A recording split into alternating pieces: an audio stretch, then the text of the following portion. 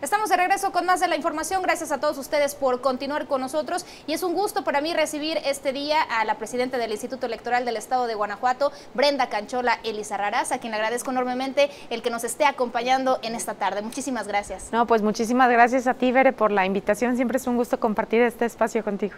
Muchas gracias. Y bueno, pues justamente estábamos ya platicando hace unos instantes acerca de que estamos ya prácticamente a nada de estar pues en este ejercicio democrático este próximo 2 de junio ¿cómo están ya prácticamente cerrando con estos preparativos? Sí, pues como bien lo comentas, estamos ya muy cerca del día de la jornada electoral. El próximo domingo 2 de junio, toda la ciudadanía guanajuatense, de hecho todo el país, nos vamos a volcar a las urnas. Eso espero que mucha participación haya. Ese es uno de los retos que tenemos aquí en, Guanajuato, eh, que tengamos más participación ciudadana. ¿Y qué estamos haciendo en el instituto? Bueno, pues estamos afinando ya todos los detalles para garantizar que el 2 de junio se cuente con la boleta de cada una de las personas guanajuatenses que tenemos este derecho al voto. Estamos ya cerrando con la etapa de debates, las, las campañas terminan el 29 de mayo, de ahí empieza esta etapa de veda electoral, que son estos tres días que tenemos para reflexionar después de toda la información que recibimos durante las campañas,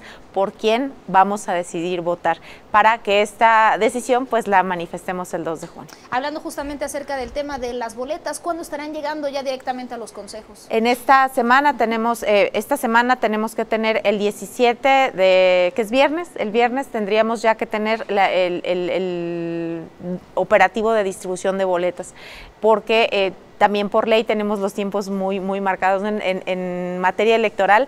Todos los días y horas son hábiles, entonces no importa si es sábado domingo, no importa, tenemos que cumplir con los plazos legales y en el instituto eso lo sabemos hacer muy bien. Así es. Justamente también eh, ahorita nos mencionaba acerca, bueno, pues de la intención de que salgan las personas a votar este próximo 2 de junio. Habrá personas que por aquí nos estén viendo desde su casa, tengan duda todavía acerca de su casilla. Es por esto que usted también, pues con todo este equipo que, que están realizando en el el Instituto Electoral del Estado de Guanajuato, han lanzado también ya esta aplicación, esta página web. ¿Qué es para que las personas puedan ubicar su casilla correctamente? Bueno, la aplicación y la página web directa es del INE. Ajá, es del, sí, es del INE. Hay una app que, que lanzó el INE, eh, que nosotros como autoridad electoral trabajamos en este sistema nacional de elecciones y lo que le toca al INE constitucionalmente hay cosas que son exclusivas del INE y una cosa es la ubicación precisamente de las casillas y en esta colaboración interinstitucional nosotros participamos en diferentes momentos, en, en, las visitas de los domicilios donde se instalan y demás. Finalmente, como dices, eh, ya se tiene liberada ahora sí la información de ubica tu casilla, es a través de una página que encuentran fácilmente en el, en la, eh, a través de la página del INE y también está una app que pueden bajar y se llama igual ubica tu casilla. Ahí lo que hay que ubicar en la credencial, en la parte de abajo de la credencial hay una eh, leyendita que dice sección, con la sección ubicamos el, lugar, el domicilio específico donde nos, toca votar.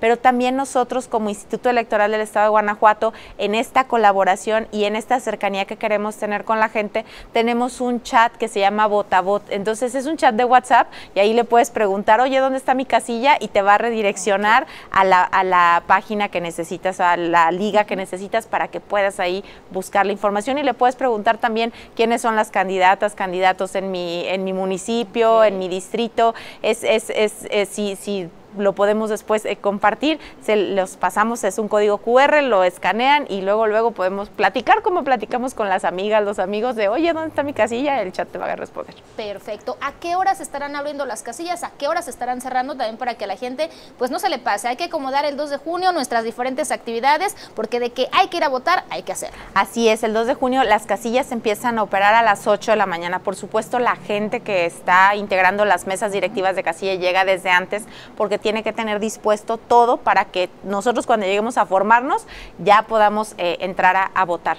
Entonces, eh, abre a las 8 de la mañana eh, en condiciones ordinarias. Pudiera haber alguna casilla que no se instale porque no llegó, no se integró la mesa, la, mesa directiva de casilla y ahí pues hay supuestos que la misma ley prevé, ¿no? que se toman los primeros electores de la fila para que la, la casilla se instale. Nosotros ese día, el 2 de junio, en el Consejo General tenemos sesión permanente de vigilancia así se llama, es una sesión formal eh, y, estamos ahí eh, en vivo, en transmisión en vivo del Consejo General, reportando todo lo que va pasando con la instalación de las casillas, así que van a tener la información en cuanto se esté generando. Pero en términos ordinarios, de 8 de la mañana a 6 de la tarde cuando pudiera, ya te dije cuándo se pudiera abrir después, la casilla abrirse un poco después y también pudiera cerrar un poco después si a las 6 de la tarde tenemos personas electoras formadas en la fila. Entonces ahí gente de la casilla va a salir, va a ver si hay fila hasta las 6 de la tarde, entonces hasta ahí cortan la fila y se le recibe la votación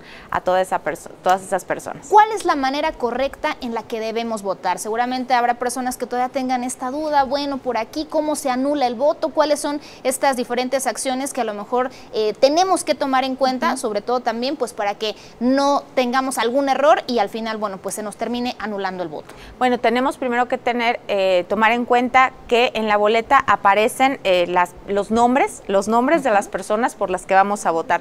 Por supuesto, vienen acompañadas del emblema de su partido político y voy a poner el ejemplo del cargo de gubernatura del Estado.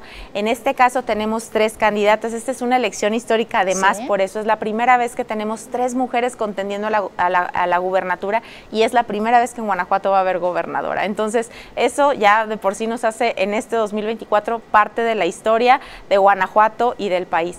Pero ya eh, centrándome en lo que me preguntaste, tomando como ejemplo la gubernatura del Estado, vamos, eh, tenemos que tenemos tres candidatas, dos de ellas van postuladas por una coalición, por cada una por una coalición y una por un solo partido político. Entonces tenemos que en el caso, por ejemplo, de la candidata Alma, va por la coalición que está integrada por Morena, el Partido Verde Ecologista y el Partido del Trabajo, por lo que en la boleta vas a encontrar tres recuadros con el nombre de Alma.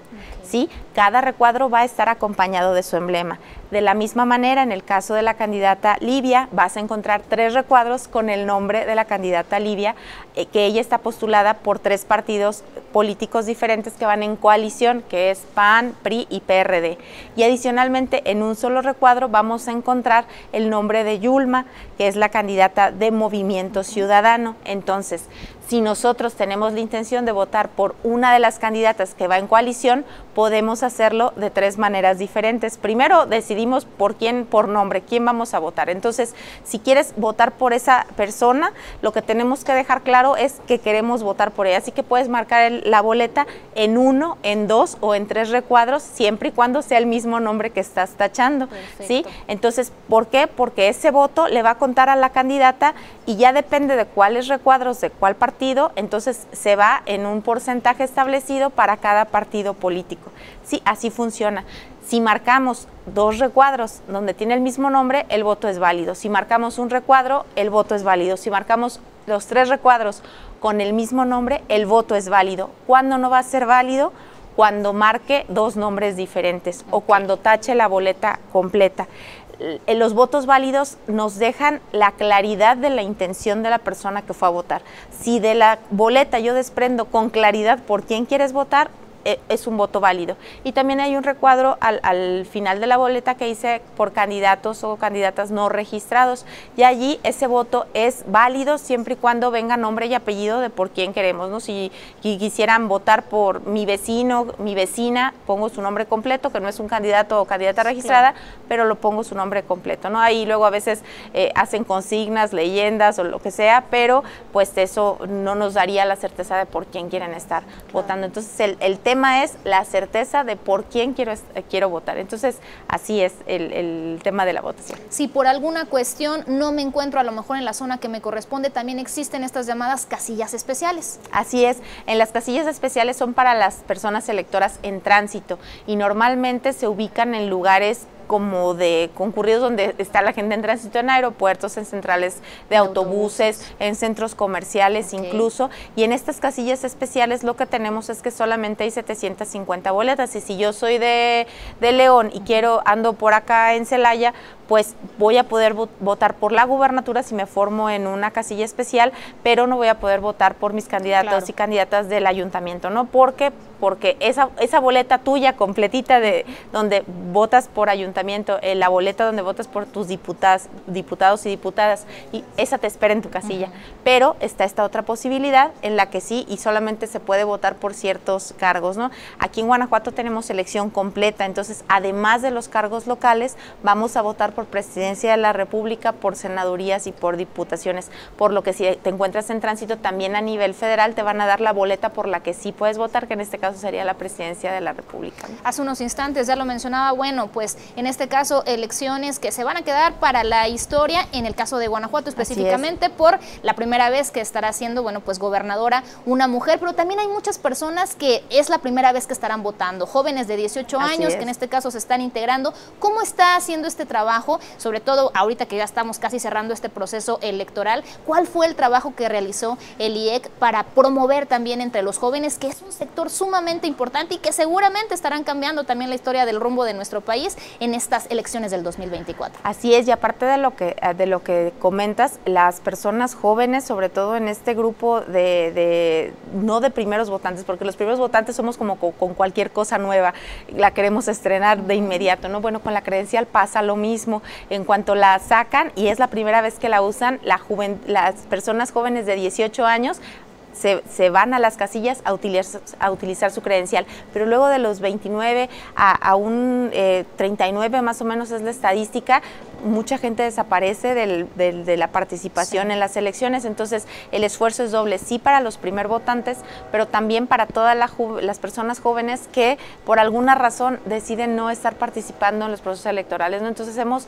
desplegado una, eh, una campaña de participación ciudadana, de invitación al voto muy fuerte desde, desde ya algunos meses en donde tenemos, seguramente los han visto, son unos deditos que te invitan a votar, son unos, una campaña muy, muy amigable. También tenemos otra en donde, el, donde se ve la Universidad de Guanajuato, en donde se ve que personas forman una huella porque estamos convencidas y convencidos que justamente votando es como dejamos huella, no nada más en la historia, sino también en nuestras propias vidas, ¿no? Porque es estamos otorgando nuestro poder de decisión a alguien más, que es quien nos representa en los gobiernos, dependiendo del nivel.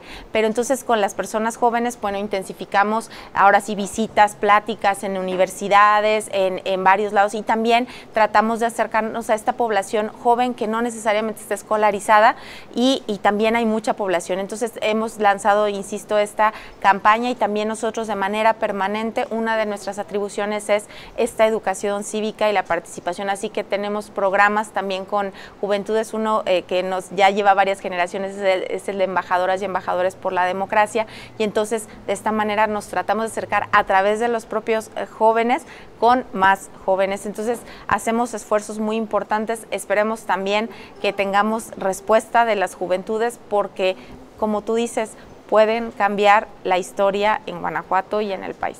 Bueno, pues finalmente, Presidenta, a mí me gustaría eh, que directamente pues le dijera a nuestro público un último mensaje, pero lo más importante, el invitarlos a votar este próximo 2 de junio, por supuesto, ejercer este derecho que todos como ciudadanos, como mexicanos tenemos y están las cámaras y los micrófonos para usted. Muchas gracias, Bere. Pues yo les invito a que nos imaginemos no el 2 de junio con la decisión que vamos a tomar ese día, sino en seis años, porque la decisión que tomemos este 2 de junio nos va a estar impactando en nuestra vida, en cómo la queremos tener en cinco, en seis años más. De esta decisión que se tome el 2 de junio depende qué derechos tenemos, qué servicios tenemos, qué políticas públicas se implementan. Entonces, pensemos a largo plazo, pensemos que el poder de nuestra decisión lo tenemos que otorgar con responsabilidad. Les invito a votar por quienes ustedes quieran. Las opciones ahí están. El voto tiene que ser informado para poder tomar una mejor decisión y preservar nuestro sistema democrático. Yo les invito, salgan a votar este 2 de junio la garantía de que la imparcialidad, el profesionalismo y la legalidad con la que trabaja el instituto garantiza que cada uno de sus votos cuente. Presidenta, pues yo le agradezco enormemente el que nos haya acompañado. Por supuesto, ya la escuchó. Tenemos una cita todos este próximo 2 de junio para ejercer nuestro derecho al voto. Continuamos con mucho más aquí en Expresa TV. Muchísimas gracias. Gracias, Bere. Buenas tardes.